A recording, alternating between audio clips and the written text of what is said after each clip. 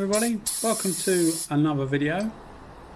This one is the Kiwami 4, the Iwata Kiwami 4 for a three stage base coat although it's actually four stages because we need to uh, start off with a grey. Before I go into the video I'd just like to say thanks for uh, everybody who's subscribing and watching the videos. We get quite a few viewers now, or relatively anyway for a small channel. So thanks to everybody and if you are enjoying what you see then um, give us a like and a subscription. It is appreciated so thank you. So, as I say, the Iwata Kiwami 4. Now, for those that are relatively new to this gun, this one is effectively the new Bellaria. Now, it seems that in the UK, if you asked Iwata UK about the Kiwami 4, they, the, the, you know, the company line is that it's designed uh, it's not designed for European markets yet and it hasn't been homologated to be used in uh, European markets. So effectively they are not denying it exists because obviously you can't but effectively they're uh, they want to get rid of their old stock I think. So you can still get the W400 although as far as I know and anybody correct feel free to correct me if you need to. I don't think they make it anymore, so it's just purely old stocks coming through, and it will eventually be replaced with this. So, for those, as I say, that those that don't know, this is the replacement. You can get them from Japan. Now, I get it. I got them from a, a company called Painting Tools Japan on eBay, but I've since got a few things from them via. Uh, Instagram, where you can, you know, you can message them, tell them what you want and they'll give you a price etc etc so I'll put a link in the bottom of the video. I don't normally do it do lots of links in the bottom of the video because I'm not trying to sell you anything. I'm just telling you what what happened to me. You know I just bought this and other people like to know where to buy them from but if you look on eBay and that you'll see them but a lot of the times they're, they're from this company called Painting Tools Japan so I'll put a, a link to their eBay shop so that you can you know, see their stuff. As I say, I've not, I know I'm not in any way involved with them. It's just where I got mine from. So let's talk a bit more about what we're doing and where we got the gun from. So, sorry, rather than where we got the gun from. So, this is a three stage, but it turned into a four stage because I, I didn't have any wet on wet primer that was grey. So, what I've done is I've used a Honda base coat that was grey, which is a it's a Honda Sonic Grey, which is NH877P, and it's the first time I've used it. I had the paint made up. I've recently got a, a small paint system, which I will do a video on once I've used it a few times. Uh, not not in that I'm comparing it to other paint systems because I've only got one, uh, so I can't compare it. But just so that people know what a paint system is like, and, and you know that a guy at home can effectively have a paint system without it costing the earth. So I will do a video on that. But this is something I got already made up, and what I was surprised at is how how thin the coverage was. But it, you know, eventually it went on fine. So as I say, it's a Honda Sonic Grey, and I don't particularly like grey grey cars, but it's quite a, an in fashion, isn't it? Grey. People are painting their walls grey, the kitchen's grey, everything's grey, and I've always regarded it as a, a relatively dull colour, but you know it is what it is. So that's what we're doing as the first stage, and this gun copes with everything you put through it. Uh, it's got to be it and still is my favourite gun. If somebody says to me, and by that I don't mean favourite full stop, I mean favourite for a, a, budget gun because it's not that expensive. If you buy it without the cup like I did and you've got an AZ4 or an AZ3 or something like that or a W300 you don't need the cup because the cup's the same, it's the same uh, screw thread. But if you need to buy it with a cup it will come in about 200 and well, it depends what cup, to be honest, but they come in about £210. So it's not it's not loads of money. What's that, about 100, 180, uh, sorry, 280 US dollars at the moment? So it's not loads and loads of money. So, you know, it's a very, very good do it all gun. And it's not a jack of jack of all trades, master of none, because it actually does them, do does everything very very well. Now this is only a 1.3. You can get them in 1.8. I think you can get them in 1.6, 1.2. You can get them in a lot of different variations, but obviously for bass and clear, 1.3 or 1.4 is is normally ideal. So I've just got it in 1.3, although the actual um, actual tips are the same as the W400. The cap isn't the actual, well, the, I, I think the actual cap, the inner part of the cap where the air horns are, are the same, but the outside thread is different. So you can't interchange them without actually taking the centre of the cap out. So they are sort of like a, a, a modified gun, and I think I've said it before. It's probably to stop people using different bits, and you you have to buy new bits really because that's what the manufacturers do, I guess. But they're a very very good all-round gun. I can't emphasise how much I enjoy using it, considering that it costs, you know, 220, 220 pounds. It'll lay base coat down really, really well. It will lay clear coat down really, really well. And we're using effectively three lots of, of base coat on this.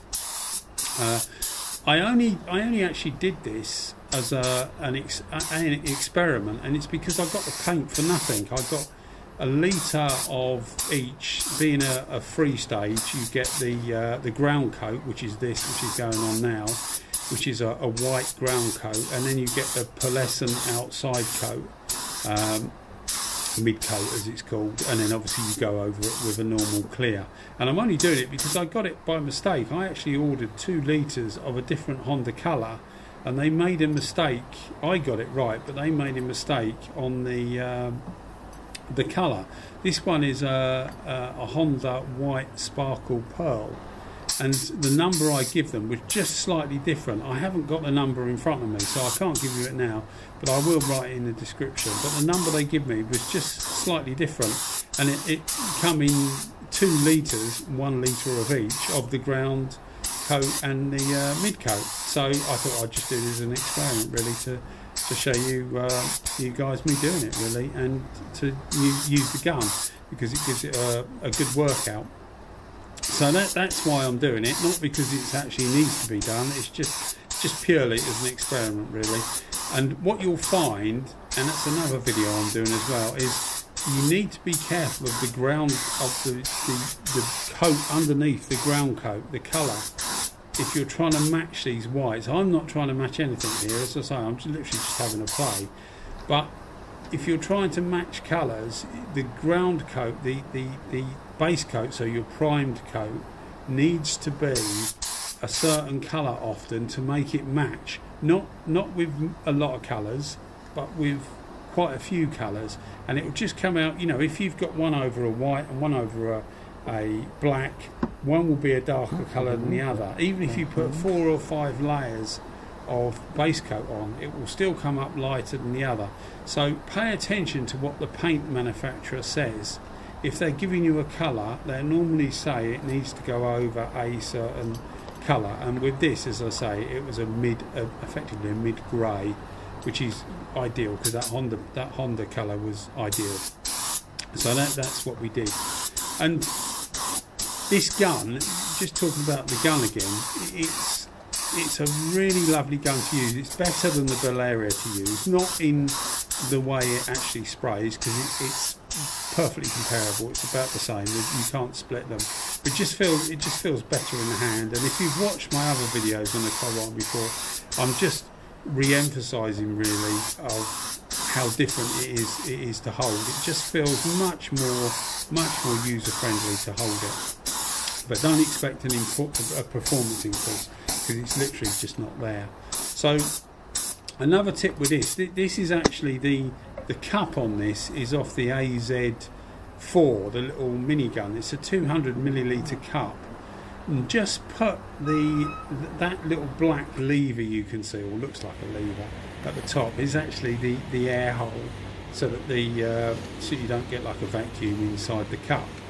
And if you are using that and you're not using a, a PP, uh, PPS cups, if you are using that, then make sure that that is is pointing towards you or up from the gun because you'll get a little funnel of paint coming down that little black lever, which is a breather actually, but you'll get a little funnel of paint and it will muck your paint job up. So do try and not uh, have it pointing downwards because it will surprise you. I mean, I've done that a few times. I've put it on there and then you suddenly get a drip and you wonder where it's coming from and you realise why. So now I've always got it in my head to make sure that that's pointing backwards. And for things like these tanks, it's absolutely ideal. This tank takes about about 220 millilitres of base or clear, depending which one it is. Uh, I went for, I've put settings on the gun anyway, but I went for the first, on the first ground coat and the first grey, I had it free out on the fluid, but you you might as well go full fluid. It depends on your substrate. If you're not sure of the substrate, it's better often to just put a few small coats just to get it on there if you think you're going to get a reaction or something, just a few small coats just to slowly put it on there and get some heat in it as well because the quicker the base coat dries out the, the, the less chance you've got of getting a reaction because it's the solvent that's in the paint. Even if it's a water-based paint it, there's much less chance of it with a water-based paint. But if it's a water-based paint you've still got a small amount of solvent in there or waterborne, should I say, you've still got a small amount of solvent in there, and it can react with the substrate, you know, what's underneath. So just unless if you're not sure, just put a few more coats. It doesn't matter if you put four or five coats, as long as you get the desired shade you want. It doesn't it doesn't really matter. But with this, the first uh, I'll say primer coat for want of a better word, primer coat and the um, ground coat was literally free out on the gun, first coat, and then the other coats was full fluid because it, it just needed full fluid really. And after that, the mid coat was just two coats of mid coat at full fluid, and the clear coat is also two coats at full fluid.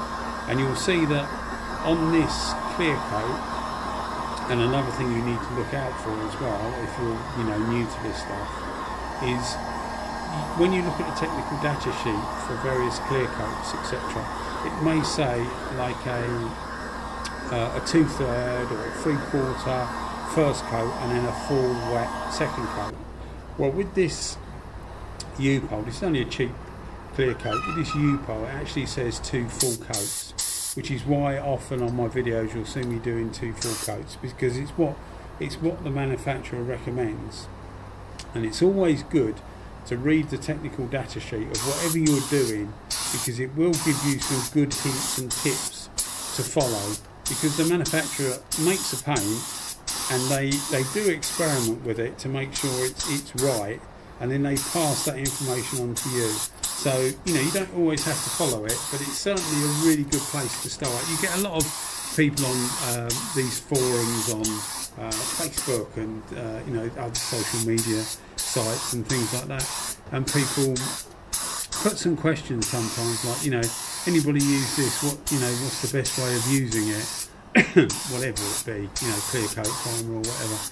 And you know, the normal reaction is we'll look at the technical data sheet because there's a lot of information on there that will help you if you're new to spraying something.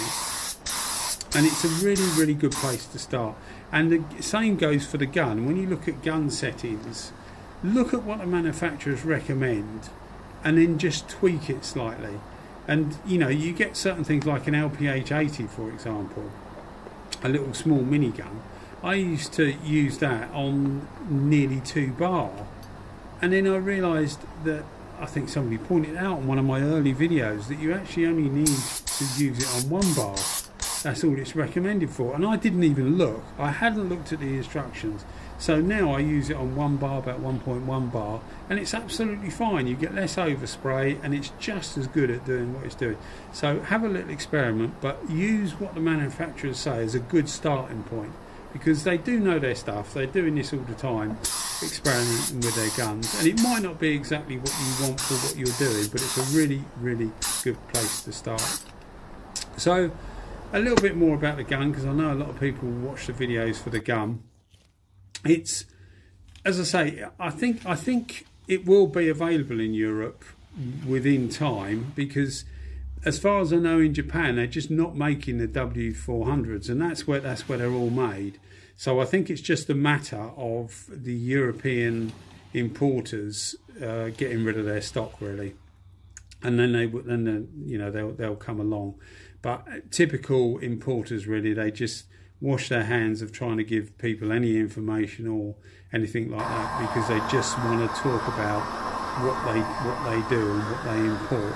The same as the warranty thing. The warranty thing annoys you sometimes. If you buy if you buy something like I have right here from Japan, obviously they won't cover that in Europe. I say obviously, but it's the way they it's the way they do things and it's a way of making sure you buy them from the proper suppliers, which I can understand because they're normally separate companies. The companies that import the stuff into the country are a separate uh, entity, so they don't want to be picking up the bills for your gun that they've got to repair under warranty because they haven't had the profit from selling that gun in the first place. So I can understand it, but it's just that sometimes they seem a little bit negative about something, and at the end of the day, you're looking at the importer as being the, you know, Iwata Europe or whatever. You know, you know, that may not be their name. I don't know. I haven't looked.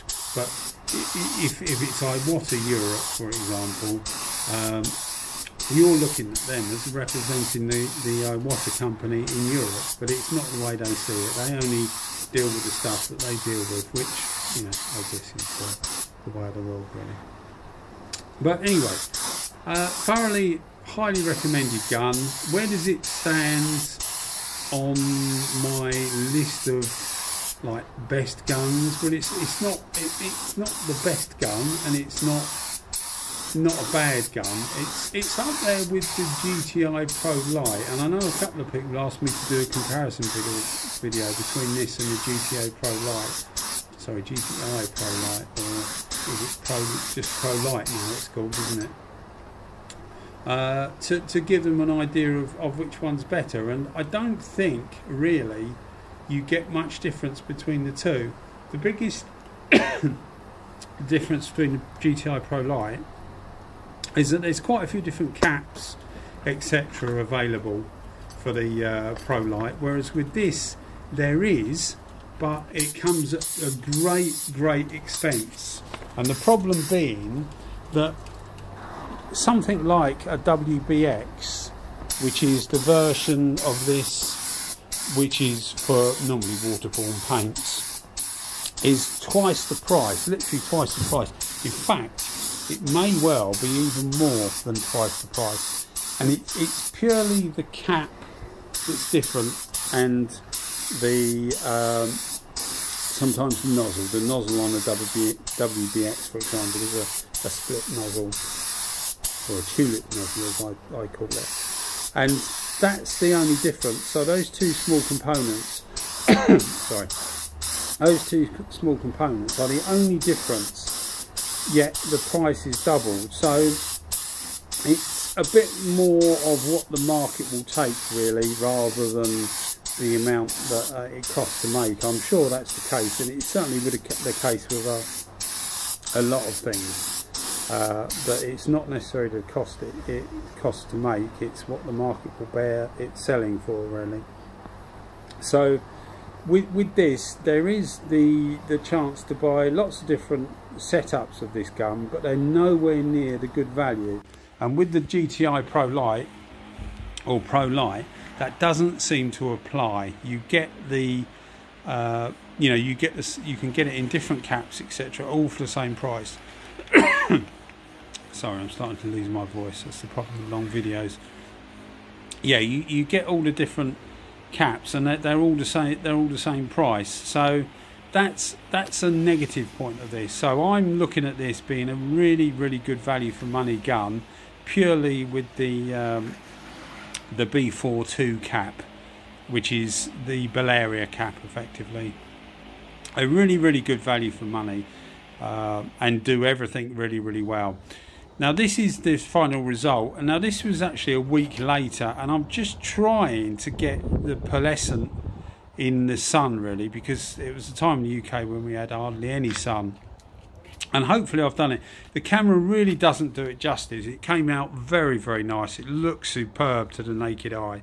But try as I may, took loads of different videos trying to get it in the camera, but you couldn't really see it. But I think you'll find it does, you know, I think you'll agree it does a really, really good job.